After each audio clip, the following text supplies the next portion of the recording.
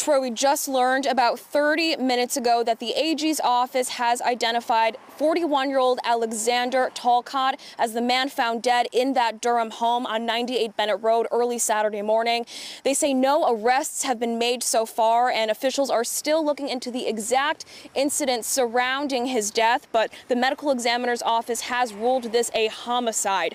According to the press release, the medical examiner's office says Talcott died from a stab wound to the neck. They say investigators are still determining whether or not the person who stabbed Talcott acted in self-defense.